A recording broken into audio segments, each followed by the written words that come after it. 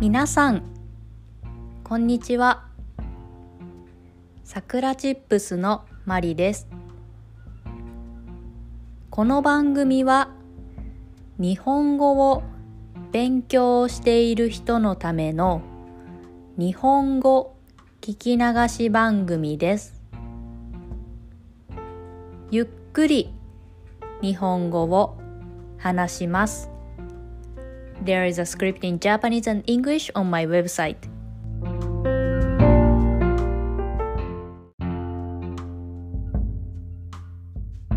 今日のテーマは散歩についてです。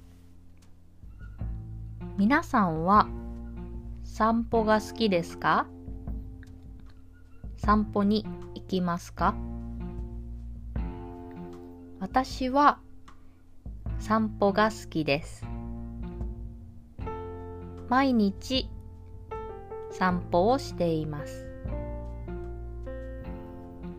これはコロナが始まってから在宅で仕事をするようになりました。そうすると家から出なくなり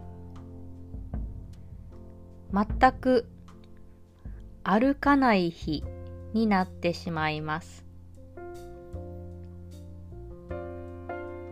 運動不足を解消するために毎日時間をとって散歩をしています。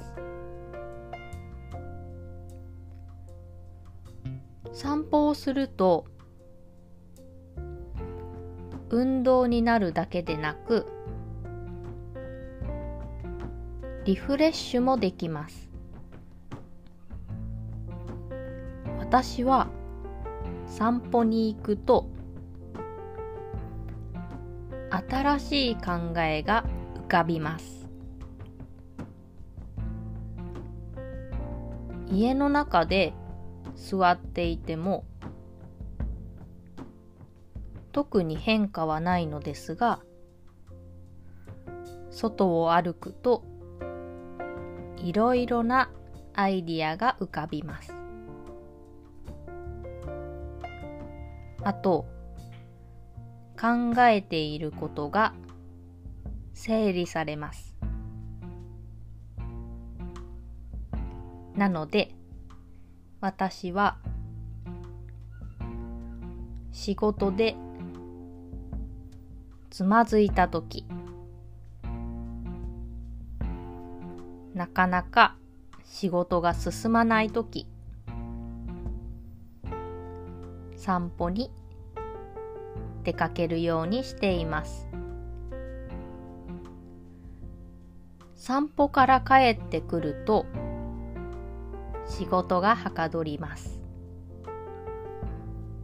また運動不足も解消されるので一石二鳥です。